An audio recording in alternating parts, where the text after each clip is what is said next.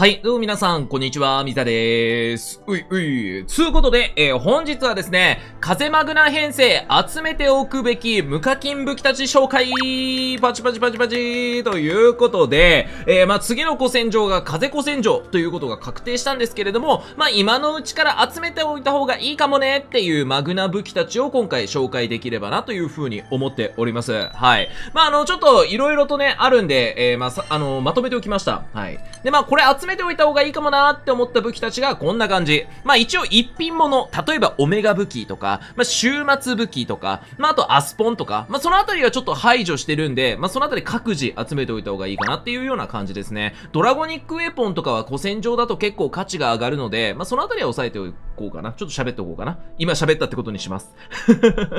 ということで、えー、紹介していくんですけれども、まあまず1個目が、おならですね。オールドナラクーバラ、略しておならなんだけど、この武器はね、結構強いんで、とりあえず厳選おすすめ。EX スキル付きになってるんだけど、攻撃力アップ。まあ、もしくは渾身3だね。基本的に短期編成ですごい使いやすい武器で、HP が減っちゃうっていう暴君スキルを持ってんだけど、先制、先制じゃねえや、ソカだ。ソカと、えー、暴君っていう、まあ、攻撃力がめちゃくちゃ上がるスキルセットになってるんですよね。これマジ便利なんで、あの、これはまあ、渾身か攻撃力で厳選しておくべきです。はい。奥義効果が防御ダウンっていうのも結構優秀で、まあ、なんか奥義、奥義編成とか使うときは、たまにこの防御ダウン目的で採用したこともあったとかないとかっていう感じだね。はい。まあ、そのあたりで、えー、おすすめです。で、えー、上の3列なんだけど、まあ、マグナ武器セットになってるね。うん。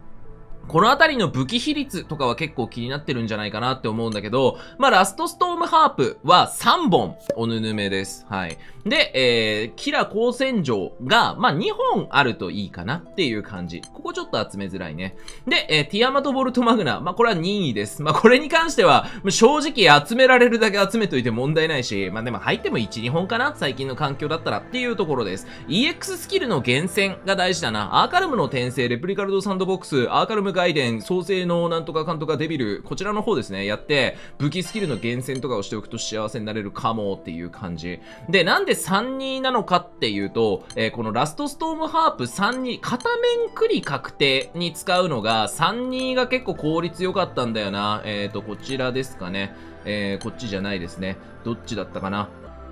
これで、片面ティアマトマグナで、えー、クリティカル確定になるんで、まあ、効率いいです。えー、こちらのキラ光線場って通常光人がついてるんですよ。あの、ラストストームハープを増やしちゃうと、渾身肩になっちゃって、火力が思ったように伸びないんですよね。この比率が火力的には、片面だったらか、あの、これは高かったっすね。はい。おぬるめですっていうところです。まあ、だから個人的には、えー、3、2がおすすめしたいなっていう風に思ってるっていうようなところですね。まあ、ちょっとキラ光線場はレガリアの新レガリアの方なんで、ちょっとドロップ率があんまりよろしくないので、まあ、あの、まめにね、自発しておかないとちょっと足りなくなっちゃうかもしれないんで気をつけていきましょう。あの、基本的にキャンペーンとかで武器を集めた方がいいと思ってて、まあ、あの、もうすぐサマーキャンペーン来るんですよ。8月に呪術回戦コラボがあるんですけど、まあ、そのコラボの時に長いキャンペーンがあるかなっていうようなところです。はい。まあ、そこら辺考えたら、まあ、あの、基本的に武器を、他の武器をがっつり集めますますっていう時って半額とかを利用するといいんだけど、まあ、あの、ここら辺は自発だけでもやっておくとマジ幸せになります。このアイスのスプーン、31で見たみたいな見た目してるんですけど、31もしくはスタミナ太郎で見たみたいなアイスのスプーン。このスプーンね、なかなかやってますよ。はい。なんで、ゆっくり集めていってくださいっていう感じです。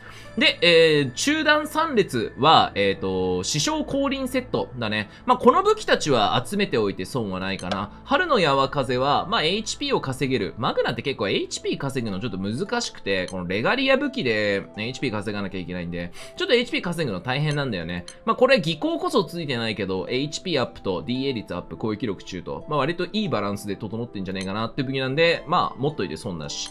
で、えー、こちら、えー、この石弓に関しても、心境更新ということで、火力特化したいマグナ編成の場合に結構1本ポンザして入ってくるっていうタイプの武器です。はい。まあ1本しかないんですけど。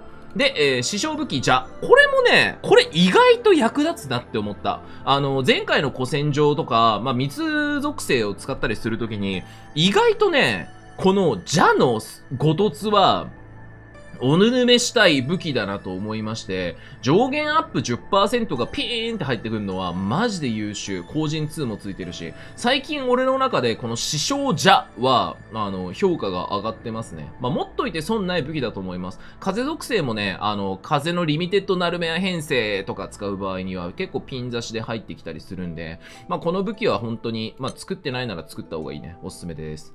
で、えー、次ですね。イーウィアビークとマンデトのあたり。このあたりはキャンペーンクエストを利用した方がいいかなっていう武器になってる。マンデトに関しては、えっ、ー、と、攻撃覚醒がおぬぬめです。必要本数としては最大3本っていう風になってるんだけど、まあ、あの、スキルとしては花壇スキル。HP が多いほど余ダメージアップっていう武器スキルがついてて、まあ、あの、攻撃回数が多い編成ですごい有用になってる。まあ、3本は使う可能性があるんだけど、はい。これを集めなくていい状況が存在します。それが最近追加されたんだけど、豪風の抑影っていうリビ武器だね。課金していると、この武器の方が優秀なんですよ。余ダメージ上昇。風キャラの余ダメージ上昇。これ5万なんだよね。で最大値10万なんで、マンデトが3万なんだけど、豪風の抑影は5万なので、まあ、無凸でもこっちの方が優秀じゃないかな、普通に。うん。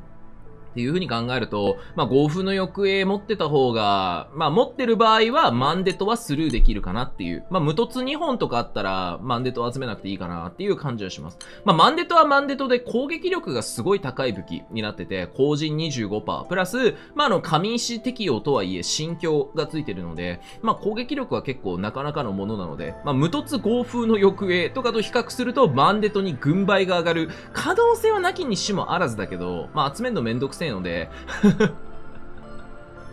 サボるのもありかもしんない。ただ、豪風の行方を持ってたら。持ってなかった場合、マンデト採用は全然あります。はい。3本集めといてね、損はしてないなって思ってるんで、まあもし、なんか暇な人は、キャンペーン期間中とか暇な人は、あのー、救援も結構人が多くなるんですよ。うん。集めやすくはなるんで、あの、キャンペーン期間中とかでマンデトをささっと集めちゃうと幸せになれるかもしれないです。はい。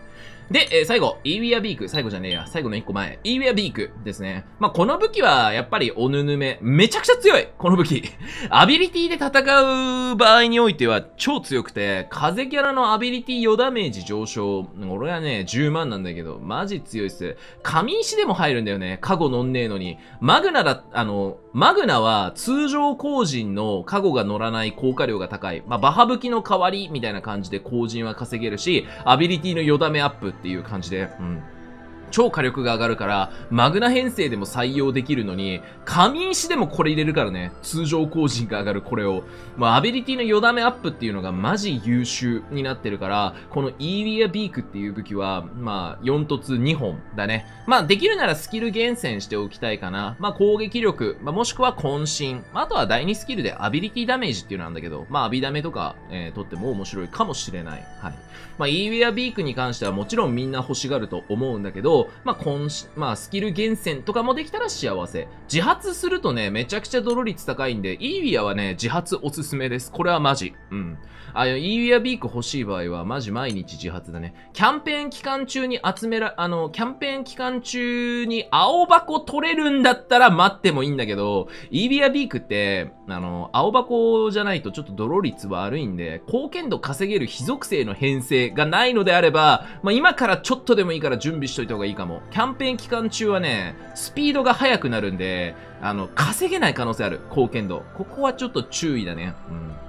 まあ、キャンペーン期間中で集めてもいいけど、装備が必要かなっていうようなところです。で、最後、番外編、セッテディスパーダ。まあ、この編成は、前回の土有利古戦場でも活躍した編成で、5本ぶち込む形だね。あのー、そう。ただね、まあ、これ、取るのがちょっと大変で、うん、取るのがちょっとシエて HL やらなきゃいけないから大変で、まあ、ただね、人が結構いるから、しっかり編成さえ組めば、あの、倒せる確率はかなり高めになってます。まあ、毎日自発をこなしても足りないので、救援編成を組む必要がある。戦力的にかなり必要だから、まあ、ちょっとどうしようかって思う人もいるかもしれないけど、まあ、これ5本揃ったら、まあ、5本かな？大体入って、5本6本とか入ってくるんだけど、まあ、5本とか揃えたら、まあ、200ヘルも全然しばけますみたいな。